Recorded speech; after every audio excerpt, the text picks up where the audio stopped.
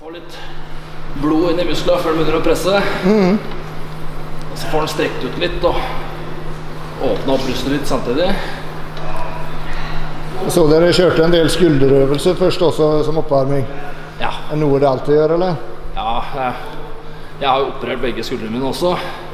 Så det har vært et svakt punkt lenge. Fikk jo ikke trent dem på flere år. Så det handler liksom om å ivareta skulderen litt, da. Prøve å unngå skader, så det er gode og varme og klare for eh, harde løft, Mm. Så tøying og oppvarming det har vi prøvd å bli flinkere på. Ja, var sikkert mer å hente. ja ikke sant?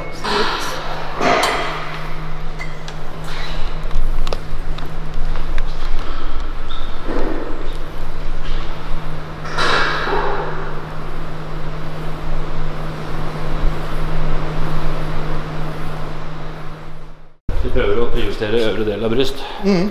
Så vi starter alltid med et par øvelser hvor vi presser skrått. da. Riktig. Så det er ofte der man har de svakhetene sine også.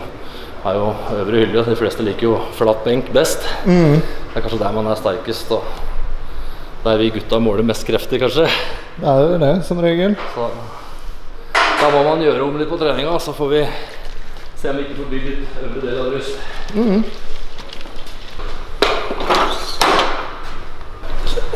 Dere pleier å trene sammen?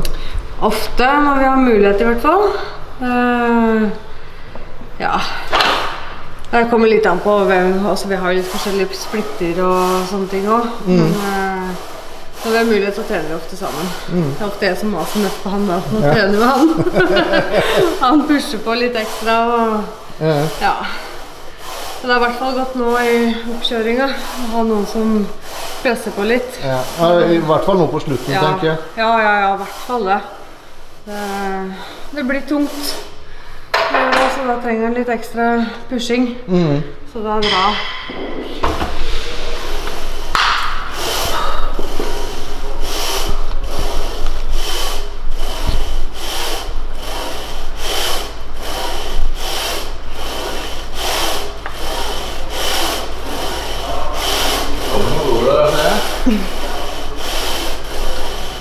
Skikkelig god form, altså. Ja, veldig.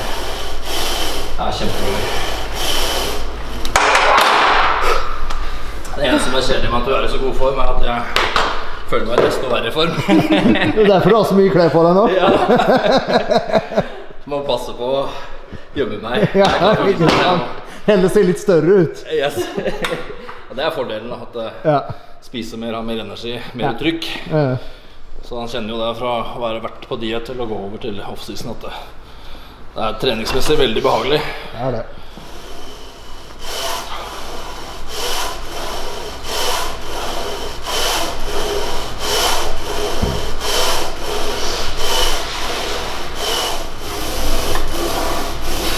Bra. Kom igjen.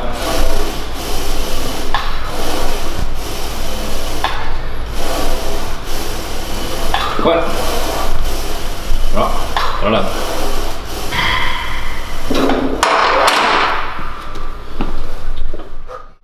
Så er det Vibeke som setter opp treningsprogram og sånt til deg òg, eller? Nei, det er Roger som gjør. Det er Roger som gjør. Ja. eh, Jeg har litt skavanker her og der, og han kjenner kroppen min veldig godt.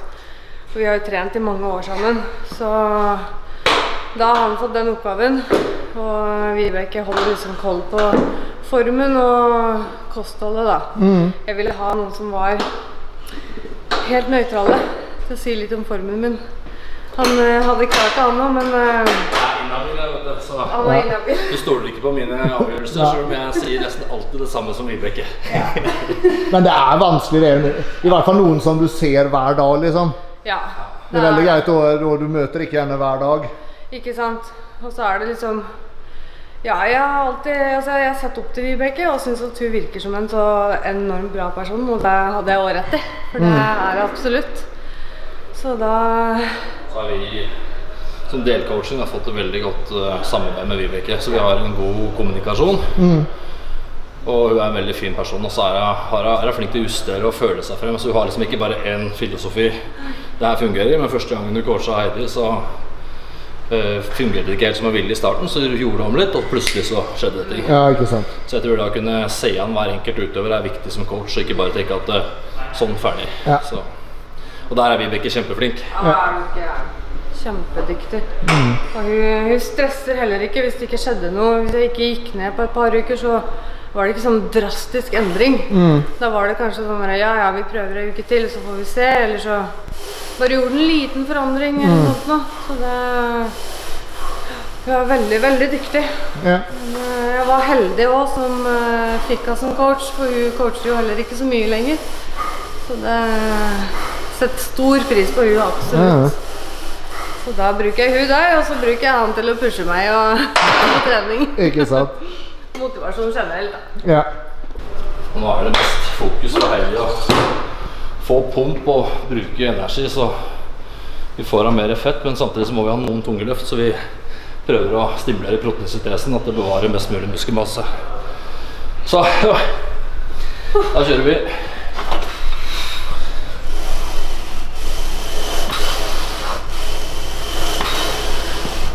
Bra. Kom igjen. Bra. Ja, kom igjen. Party. Kom igjen, kom igjen. Alene. Og en til. opp! Kom igjen, kom igjen. Ja, bra. Jeg tenker sånn på, sånn på hjemmefronten så må det jo være enklere at kun den ene er på diett. Eller? Nja, vet du at vi begge var så apatiske i vår når vi var på diett. Så det gikk egentlig veldig greit.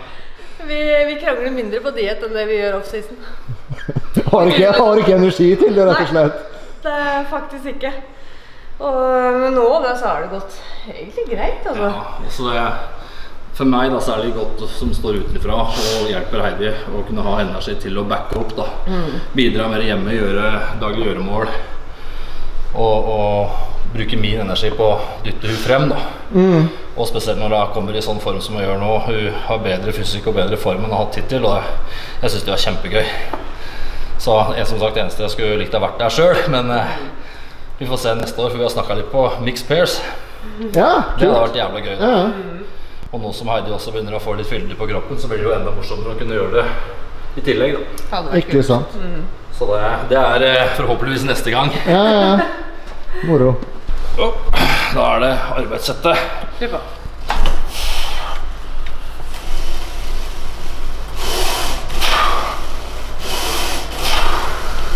Ja.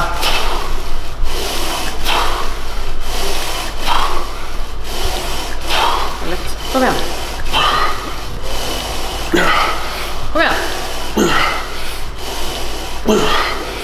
Ja. To til. Kom igjen. Ja. Den satt. Ligger relativt høyt på røppe. Ja, jeg liker å få god pump. Så jeg prøver å variere litt. Og ha noen øvelser og sett hvor jeg kjører helt ned i seks reps. Men jeg kan kjøre helt opp til 4-25 også. Ja, såpass, ja. Så jeg prøver liksom å kommentere litt, og så kjenner jeg dagsformen og sånn. da. ja. Så har jeg trøkk og energi, så går jeg tomt. Men nå må man ha pump.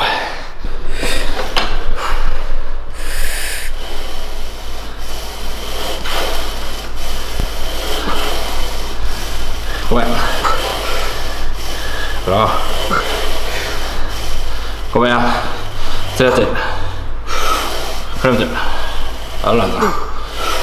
Kom igjen, kom igjen. Og en til. Og klem. Ja, bra. Veldig bra. Merker du noe på styrken ennå? At Ja. den har blitt borte? Ja. Den blir eh, nå Siste to ukene har jeg begynt å merke det godt. ja. Da føler jeg meg rett og slett svak. Gjør det. Så det skal bli godt og Det er det jeg gleder meg mest til med offseason. Å kunne spise så jeg har mye energi på trening. Ja. For jeg føler jeg får ordentlig trøkk og pump og Mm. Ja, føler seg litt sterk igjen. For det gjør jeg ikke nå. Man føler seg flat og sliten og Men Det er veldig spesielt det der, for, for, for jo, jo bedre form man faktisk er i sånn, sånn fettprosentmessig, jo, jo dårligere føler man seg. ja, ja. ja. Da, Fy faen, jeg er dårlig. ja det er at man syns hun ser dårlig ut. Og Ja, ja, ja, ikke sant? Helt- Han blir jo helt skutt. Bare lyst til å drite i hele greia. Ja, rett og slett. Han tenker at hva er det jeg driver med? Herregud, så dumt. nettopp. Det er rart, det der. Ja, det er det. Men det er jo virkelig verdt det, da. Det er jo det. Så er det liksom Når du først står på scenen, vet du er i knallform. Det er ingenting som slår det. Nei, det er ikke det. altså. Det er kjempemorsomt. Og backstage og det å bare få på første lag med farge og bare Ja. hotellrom og det er, det er noe spesielt, altså. Hotellfrokost. Ja, å herregud. Så har vi ordna en liten sånn eh, avslutning. Da. Så da, uka etter NM så reiser vi fem dager til Budapest. Hei! Så da blir det spa og god mat og full pakke. Det blir deilig, tenker jeg.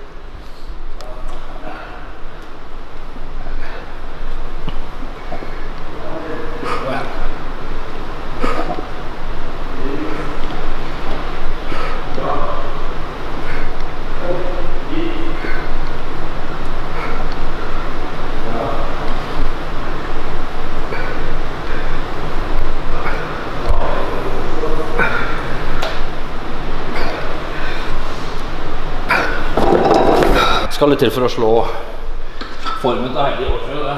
Hun kommer nok til å bli en av dem med best form i klassa si, det er jeg ganske sikker på. Så bare ting klaffer nå med karb og væske og alt, så. Men jeg hadde jo en veldig god løsning på det sist. Ja, Så gjenta det nå, så tror jeg det blir bra. Ja. jeg tror det blir bra. Kjører du sånn nulling, eller? At du nuller noen dager først, og så karber, eller hvordan? Ja, vi gjorde vel det sist, hvis ikke jeg husker helt feil. Da begynner jeg å bli ja, beskjed om. tilstander. ja, jeg bare gjør det jeg får beskjed om. Så ja, vi gjorde vel det i en Jeg husker ikke hvor mange, mange dager, da. Men uh, det var nå i hvert fall lite grann. Mm. Eh, Tre-fire dager kanskje. Og så begynte å ja, gå opp. Kutte vannet helt? Eh, ja, men jeg har ikke kjørt noe sånn veldig høyt inntak av vann. eller. Jeg tror det meste jeg var på, var seks liter. Jeg. Ja.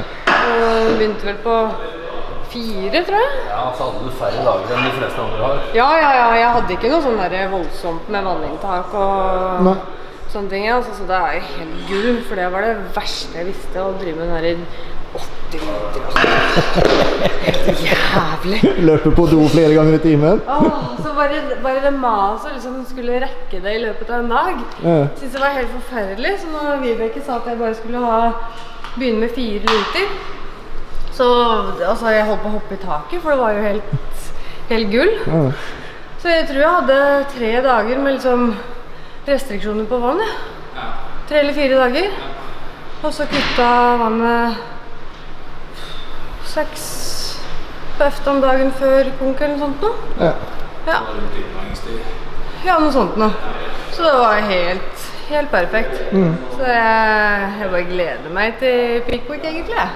Gleder meg til riskaker og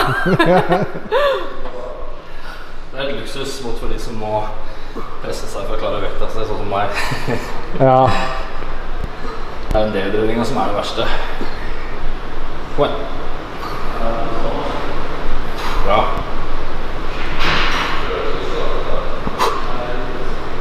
Bra. Kom igjen. Par til. Kom igjen. En til. Bra.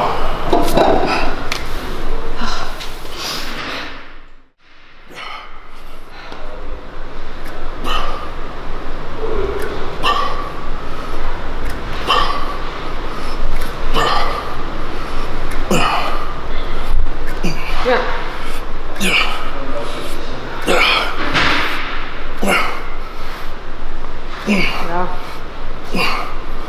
Ja. Du ser sikkert veldig mye fine uttrykk i løpet av alle rundene du tar filmer. Ser mye rart. Hø hører mye rart òg, skal jeg si deg. Det tror jeg på. Du sa i stad at eh, du på en måte har eh, Team 24 Fitness sin avdeling her i Gjøvik. Ja. Så jeg har, eh, jeg har egentlig litt fri tøyler under en Tommy. Eh, og det er kjempegodt. Og så har jeg liksom fått basen min her oppe. Men jeg har noen som jeg coacher på avstand, i Bergen, par på Hamar og par rundt Oslo-området, Nittedal og Hadeland. Så det er blitt ganske mange, så jeg har vel en 15-16 sammen, og åtte nå som stiller. Så det Som kun du coacher? kun jeg coacher. Ja. Og så har jeg brukt av Vibeke til litt poseringshjelp på ei som stiller i bikini. da. Ja, Bikiniposering er ikke min snakkeside det. det, det er veldig betryggende å høre deg Ja. si det. det var som Heidi sa når hun var på poseringstrening med Ellen. Så var det Lars der, Ja. og han skulle vise jentene hvordan de poserte. Og han hadde vært så intle- nei, heter elegant. ja, ja, ja, han kan det. Ja. Så det så ut som de ikke hadde gjort noe annet. Men det er ikke noe jeg kan skryte på meg. Altså. Jeg- veit i teorien, men det er så mye enklere å bruke noen som har gjort det sjøl og, Ja.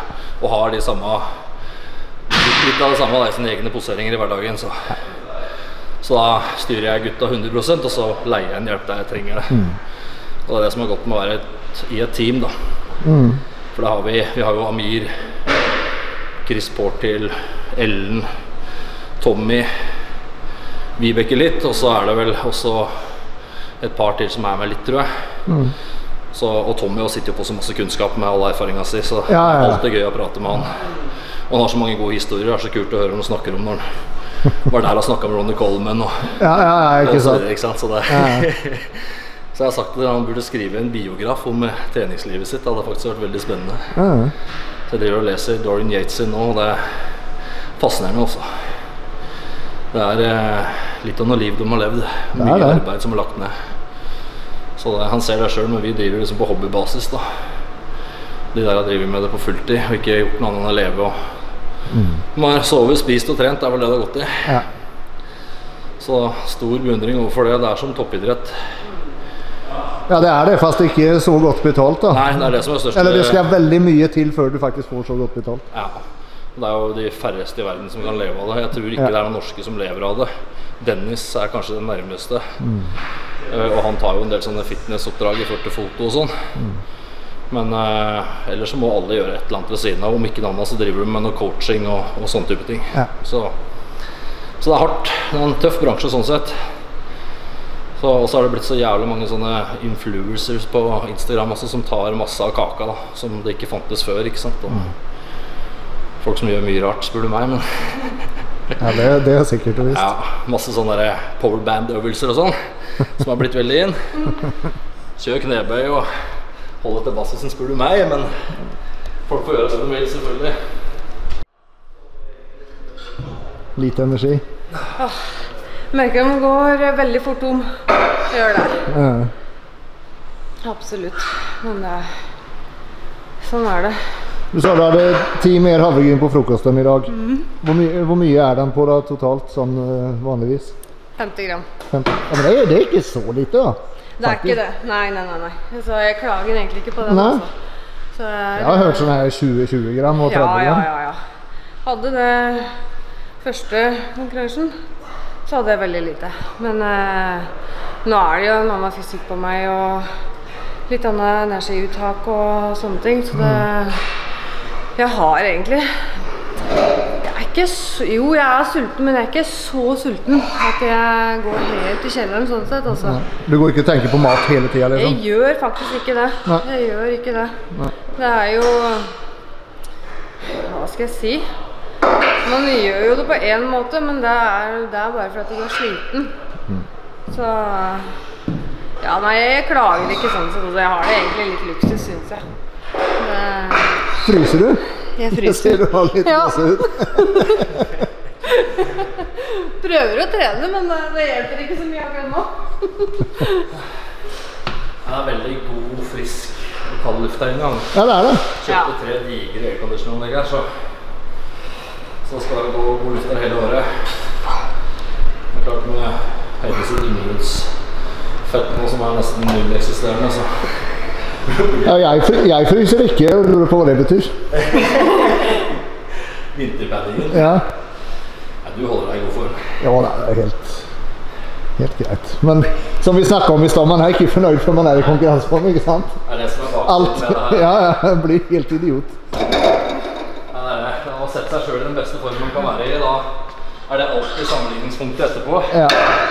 Så jeg hører liksom alle andre sier å du er så god form, men jeg føler jo ikke det sjøl. Men jeg, når jeg ser objektivt på det, så, så skjønner jeg jo at jeg er i ganske god off-season shape. Ta en tur i et offentlig badehus eller noe, så eh, Ikke sant? Ikke sant? Det er bare det at man skulle ønske hele tiden at man kunne være hvassere, men så handler det om å for meg da å videreutvikle meg, kunne bygge mer masse, og da må man ha nok kalorier inn også. Ja. Det er veldig vanskelig å bygge, bygge nok hvis du skal holde igjen, altså.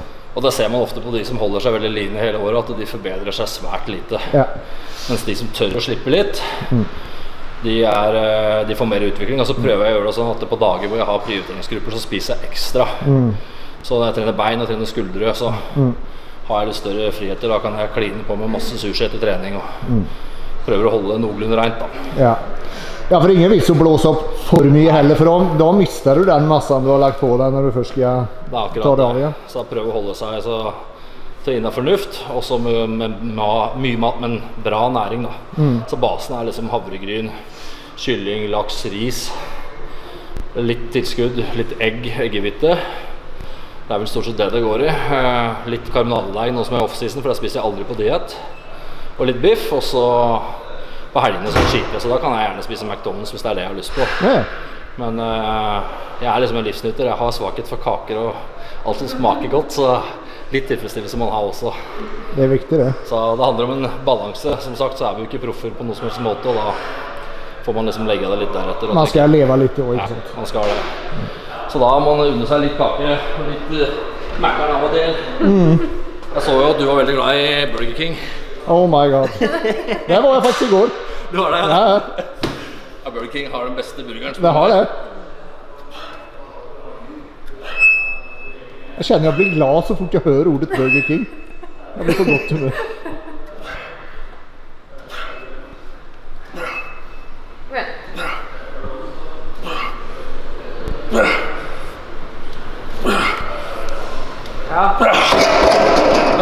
Ja, jeg viste Heidi det innlegget du ga fra samboeren din når jeg fikk gavekort.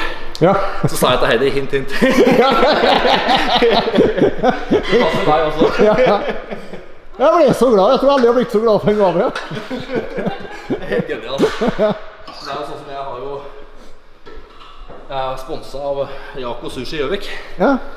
Altså, er det noen som hjelper meg litt. Altså Jeg har fått dekka litt utgifter i forhold til konkurranse og reising og sånn.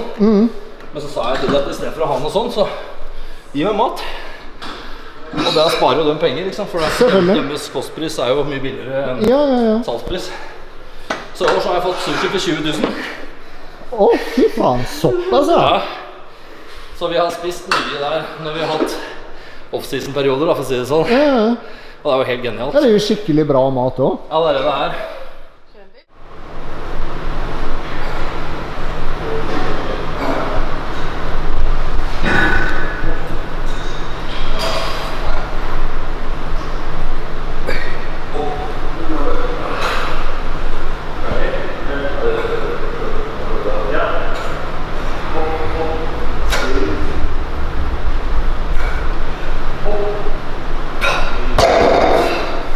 Hvor mye poseringstrening blir det om dagen? da? Altfor lite. Det, det er sånn Hva skal jeg si Pleier å dra inn den litt når jeg trener. Eh, litt hjemme foran speil og jeg på siden jeg har dusja eller et eller annet sånt. Mm. Litt sånn småtteri her og der, men det blir, det blir litt for lite. altså det gjør det. Men så har jeg kjørt noen Skype-møter med Vibeke. Og så har jeg vært i Oslo og møtt Vibeke noen ganger. Men det er jo litt avstander og sånn så du gjør det litt, litt vanskelig sånn sett, da. Men eh, jeg kunne vært flinkere til det. Absolutt. T-walk og sånt, er det noe du setter opp sjøl, eller? Eh, ja, men med innspill fra Vibeke. Ja. Fordi det er ting jeg ser som som jeg kanskje ser, syns, eller syns ser bra ut, og som du har noen innvendinger på, og litt sånne ting. Så det er jo på en måte å få vist fram den beste siden av meg sjøl, da. Så Men uh, vi har samarbeida veldig godt om det, egentlig. Ja. Så har jeg ikke gjort om så mye fra i vår, fordi den funka egentlig veldig bra. Så da fikk eh, Roger hadde vist fram litt til eh, Jane McCarthy. Og fått noen tilbakemeldinger fra hun da. Og da var det ganske fine posteringer som jeg hadde gjort, og da kjørte jeg på med det videre, Ja, egentlig. ikke sant? Ja, men om, alltid forbedringer kan du gjøre der også. Det blir aldri bra nok på posteringer. Det å gå i, gå i høyhæla, da, er du komfortabel med det, eller? Ja, helt greit. Ja. Det er ikke det verste, men det er ikke det beste heller. Nei. Du gjør det ikke sånn eh, hver dag? Går i høyhæla på jobb og Langt ifra. Det er eh, Joggesko er Ja. favoritten. Det, det kommer det alltid til å være, tror jeg. Så det Men man eh, Man må jo øve seg på det. Man må jo se elegant ut. Det, det verste jeg ser, er folk som ikke klarer å gå i hæler. Det ser ikke pent ut. Nei. Det gjør ikke det. Så, men den, å gå i høye hæler er greit nok, men du må øve mer på posteringer. Ja. Ja.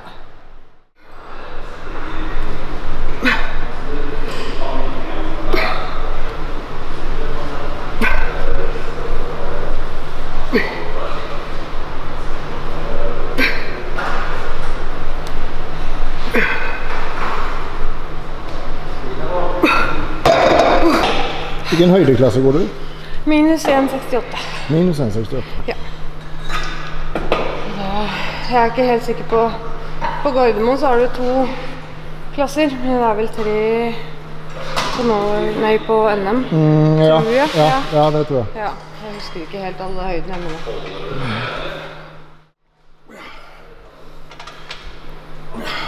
Kom igjen.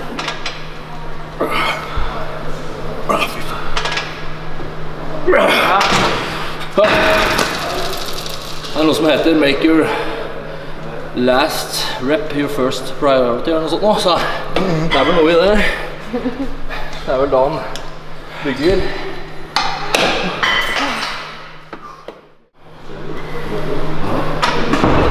Bra. Kom igjen, helt sammen. Kom igjen. Bra.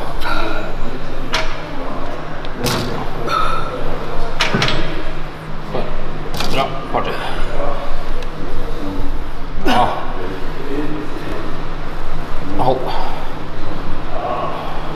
Og inn. Kom til. Ja, veldig bra. Godt. Da tror jeg vi går opp litt skuldre.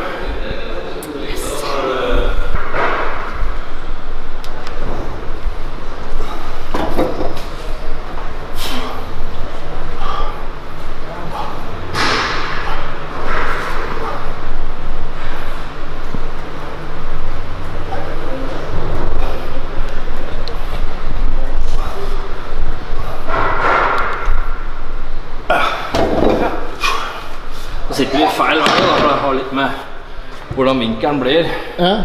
hvordan man treffer. Så han er god å kjøre andre veien nå, men da går du mer frem av albuen, så du får mye mer fremside på, på skuldra.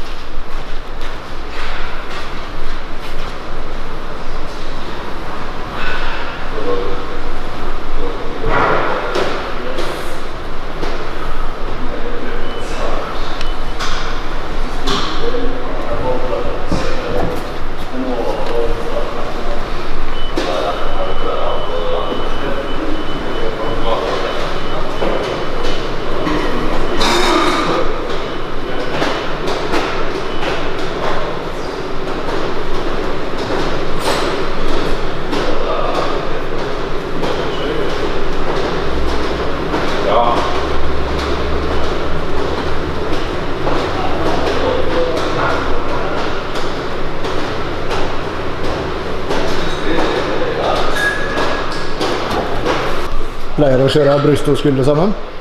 Uh, nei, egentlig ikke. Jeg pleier å kjøre uh, bryst Nei, skuldre aleine. Stort sett. Eller så har jeg pleid å kjøre skuldre og hamstring rumpe. Så bryst har jeg ikke hatt så høy prioritering på. Uh, jeg har hatt det sammen med rygg. Da jeg avslutta med bryst, da. Ja, For å prioritere ryggen først. Ja. Så det er den som den som har vært i fokus sammen med skulderen. Det er det. Men jeg, jeg liker å trene bryst, så det, det er eh, Bryst og skuldre er egentlig en liten favoritt. Det er det. ja. Hva er, hva er hat, da? Om noe? Hva er hat?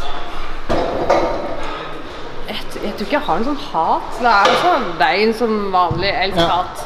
Det er det. Men jeg er veldig glad i å trene bein. Jeg liker å trene tungt. Ja. Eh, så har jeg Jeg bygger greit bein, så det har liksom ikke blitt en sånn veldig prioritert det siste året. Så det er litt sånn kjedelig sånn sett. Men derfor så tenkte jeg egentlig på eh, wellness. Fordi jeg er så glad i å trene bein. ja, riktig. riktig. Men eh, jeg har hakket for små bein, og så syns jeg det blir litt for voldsomt hvis du skal gjøre det veldig bra da i wellness. Så da Da blir det bodyfitness, da. Ja, jeg syns For, eh, personlig wellness nesten er litt sånn usymmetrisk. For det blir så jævlig mye rumpelår. og. Ja. Og så får du ofte så har de litt mindre overkropp i forhold. Da syns jeg bodyfitness er mye finere, for der er liksom symmetrien mye bedre. Det er hele pakken, liksom. Ja, det er det. Så, og det har blitt så jævla trend. Du ser de damene på gymmet som trener rumpelår hver dag. Ja. Det er sånn Kim Kardashian uh, Ja, ja, ja. eller et eller annet. Og. Så det her er mye finere.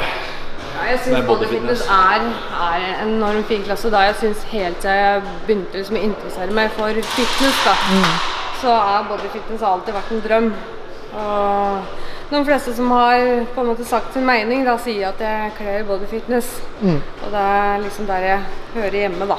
Så da satser vi på det. Ja. Ja.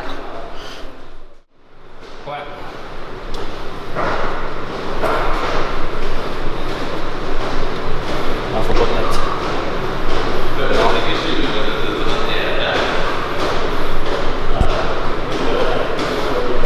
Ja, kom igjen. Eller.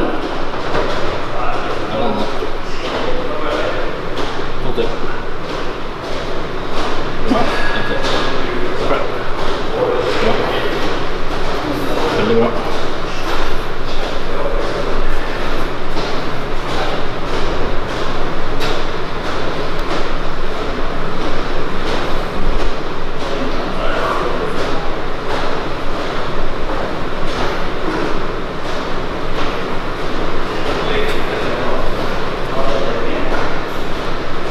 Bra.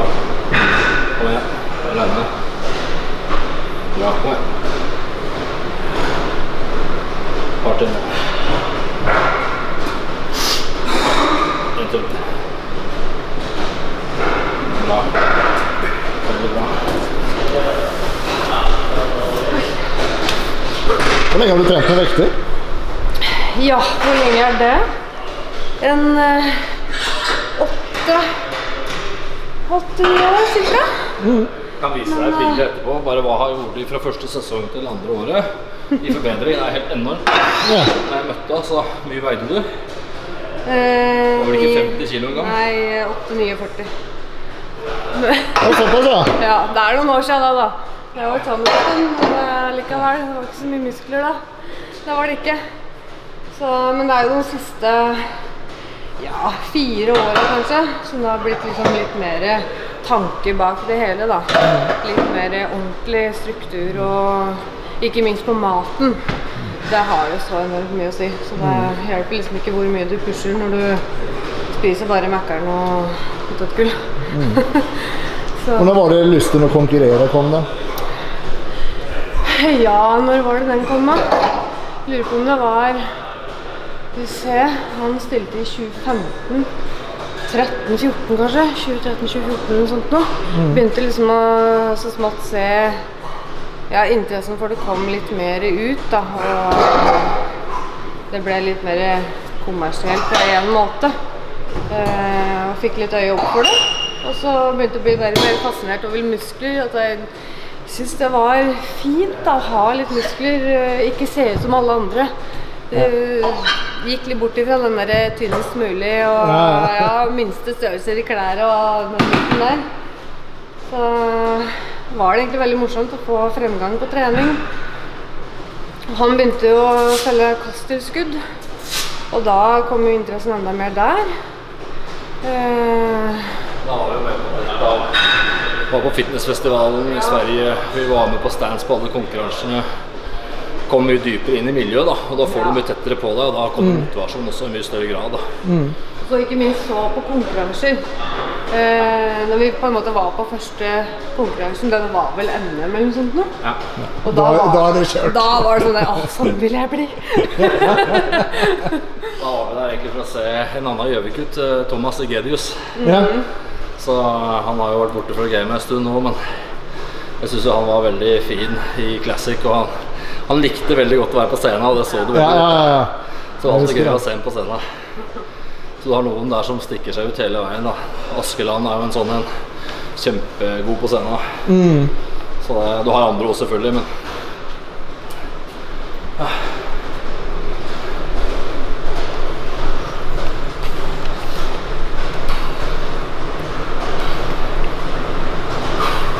Kom igjen.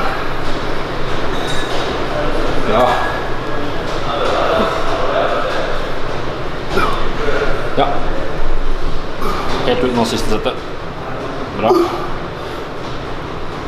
To til. Kom igjen. Opp, opp, opp, og så rolig. Ja, bra.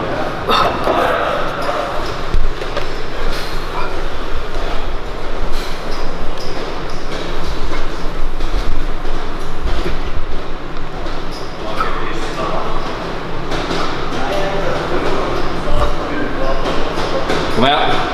Bra. Alene. Kom igjen. Kom igjen. Ja. To til. Kom igjen, kom igjen, kom igjen. Opp, opp, opp. Og hold. Bra.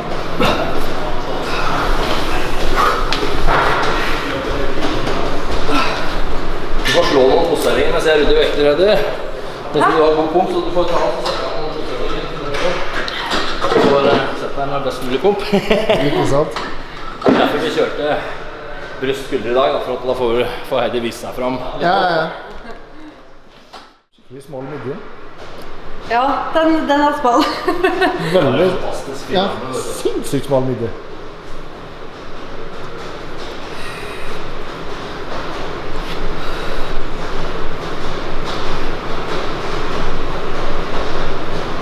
Igjen, vet du.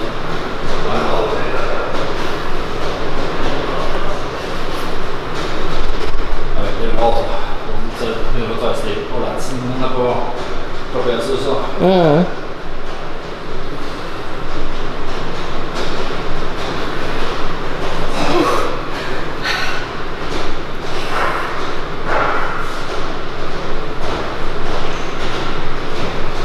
Det begynner å hjelpe, men litt igjen.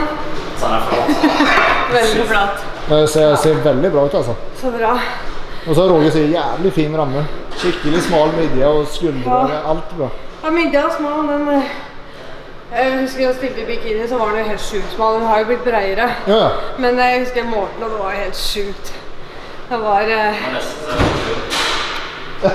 Ja, det var helt forferdelig. Men eh, nei da, den er smal, så den må utnyttes til det maksimale. Så da Symmetrien og sånn, det blir jo så estetisk fint. da. Du ser det er mange som får størrelse, men så blir det så rette. Men fordi Heidi er smal og tar vare på det, så får hun en veldig estetisk uh, look. da.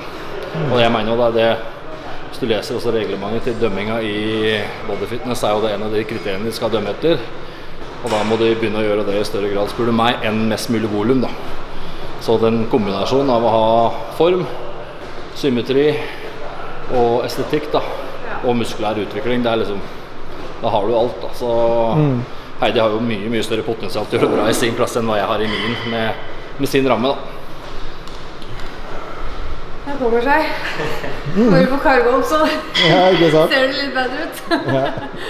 Det ser veldig bra ut. Kjøre bra, takk. med tau, og så kan du kjøre uten kroppen din, kanskje. Ja. Føles litt kleint, for jeg er ikke vant til det. vet du. men Det, det går. Gått ned mange kilo siden du begynte på dietten 1. juli. Skal vi se, nå begynner det vel å nærme seg åtte Sju-åtte, kanskje? Jeg husker ikke hva jeg begynte på, eller, men det er noe alle. da. Ja. ja, noe rundt der. Så jeg lå egentlig lenge på Ja, var det fem-seks kilo over konkurransevekt, da. Men så var vi ei uke på ferie, da. Ja. Og da, da gikk det opp litt. Men det var litt meninga òg. Fordi da skulle jeg liksom ha ei uke helt off, og så begynne på hardkjør. Ikke minst det å bare få litt få, ordentlig motivasjon, Ja. ikke sant? Ja, ja, ja. Det er veldig viktig. Bare huet må koble av og ja, må ha den friheten.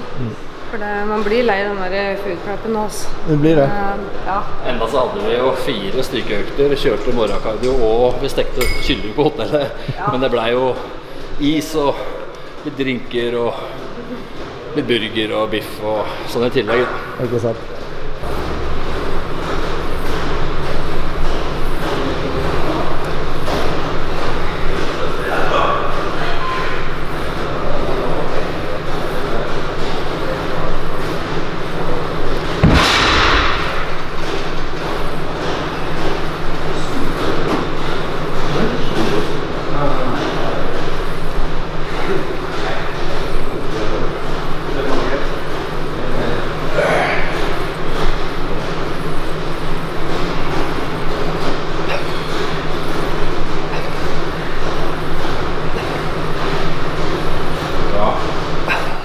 Her har blitt en av favorittøvelsene på skuldre. Får liksom litt annen vinkel på den når du kjører upright med stang. Ja, det er faktisk en variant jeg ikke har sett før. Så får du liksom med, litt mer på baksida. da. Ja.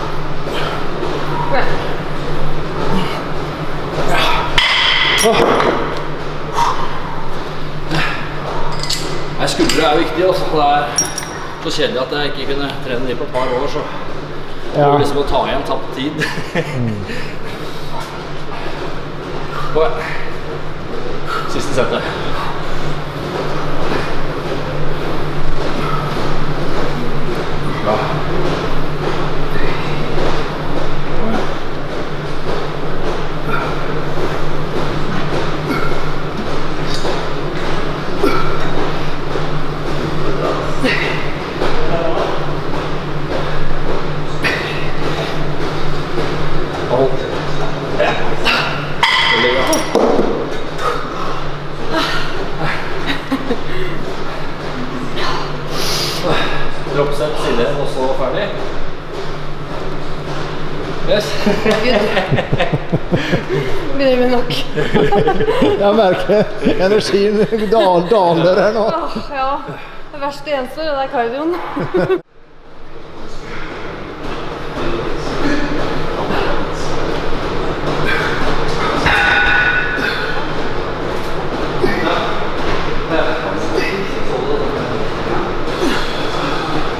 Jeg er snart ferdig, så det blir nesten.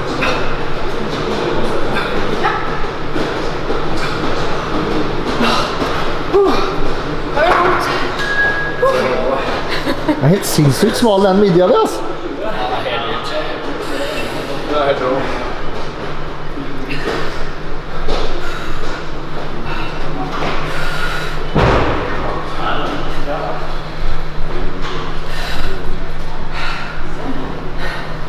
Det blir spennende.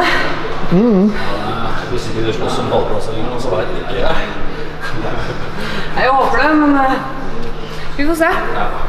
Det er lett å si det, men det er, du veit jo ikke hvem man stiller imot og hvordan de er, så derfor er det litt vanskelig å si på forhånd, men eh, det ser jo fantastisk bra ut. Så Forbedringssiden i våres i hvert fall. Ja, det er det. Så da gjort jobben tvil. Ja da. Så lenge det er forbedringer, så er jeg storfornøyd. Og bare Hele greia er morsomt. Det er kjempeartig. Yes, da kan vi prøve å få posert litt, da. Jepp. Der er eh, Andreas.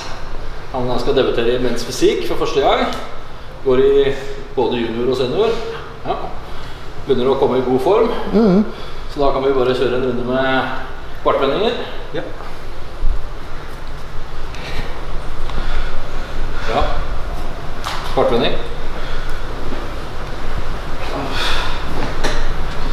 Bra. Kvartvending. Sinnssykt smal midje der Ja, òg. veldig. Kvartvending. Bra.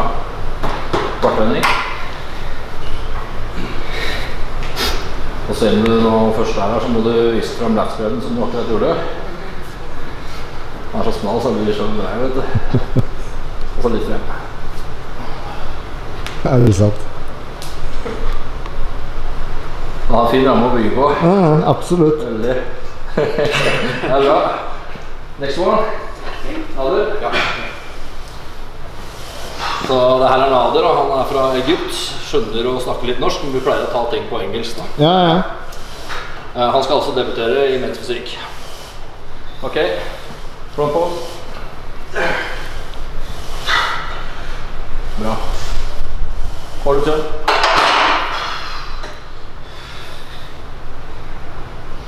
Really good. Kjønn.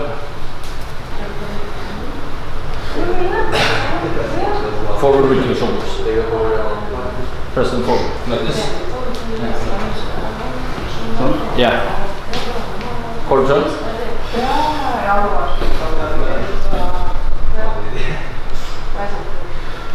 Ja. Hold kjønn. Yes. Very good. Begynner å komme i bra form. Excellent. Kristoffer. Ja, gutta er jo i form. Ja, de er det. Der er Kristoffer, da. Han skal også debutere i Men's Fysikk. Ung og lovende. Da kjører vi. Litt frem, bare. Der, ja. Kortvending. Ut med alle. Bra. Kortvending. Litt frem med skuldrene. Bra. Kortvending.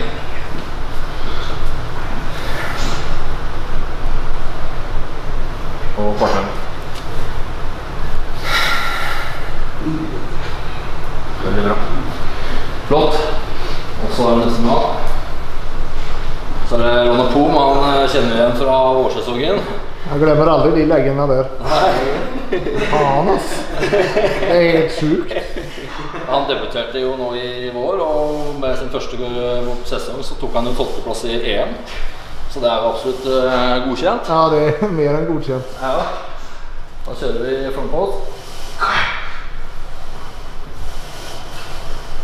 Kvartvending.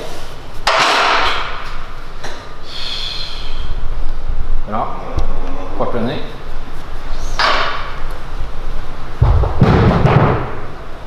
Kvartvending.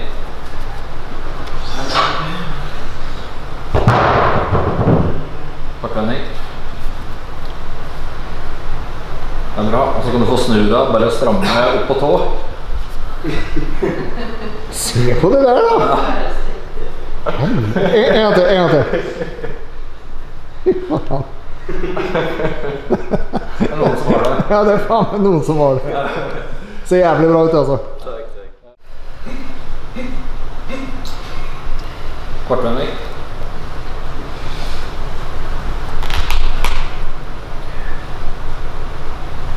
Kvartvending. Ta med håret.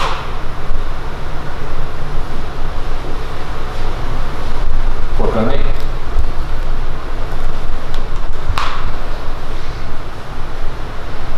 Og kvartvending.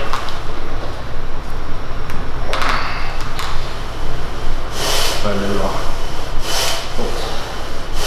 Yes, Tone. Nei. Og her har vi Tone som skal debutere i bikini fitness i en alder av 43, snart 43. 44. Ja. Ah, yes. Så hun har tatt tak i en ny og bedre livsstil i siste årene. Så det gøy. Ja. Så gøy, da. Da kjører vi front pose. Du å ut med skuldrene og få med leisen ned. Kvarttrening.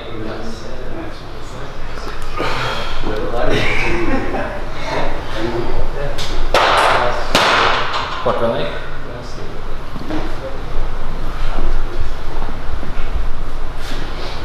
Frem med skuldrene. Der, ja. Kortvending. Opp med. Der, ja. Kortvending. Nå frem med skuldrene så det kommer ut. Det er bra. Godt. Der har vi gjengen i boks. Ja, gjengen er i form. Helt klart. Ja, det er veldig bra. Tenkte jeg kanskje hvis du kunne avslutte, da, så få med deg, så kan vi samle alle og ta et bilde. Ja, det har vært kult. Ja. ja, men det er bra jobba, boys. Du får alle ha eh, stort lykke til, så ses vi på Gardermoen Open.